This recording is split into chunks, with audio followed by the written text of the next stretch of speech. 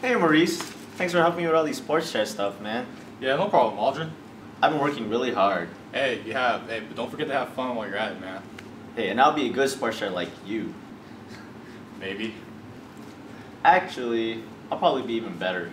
Wait, what? I have a better Sportsfest than you did. Huh? Make everyone forget about yours.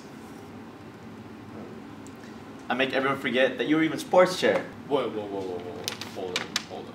Oh wait, hold on, hold on, hold on. I got a call. I'm about to cap out my Sportsfest. Hello?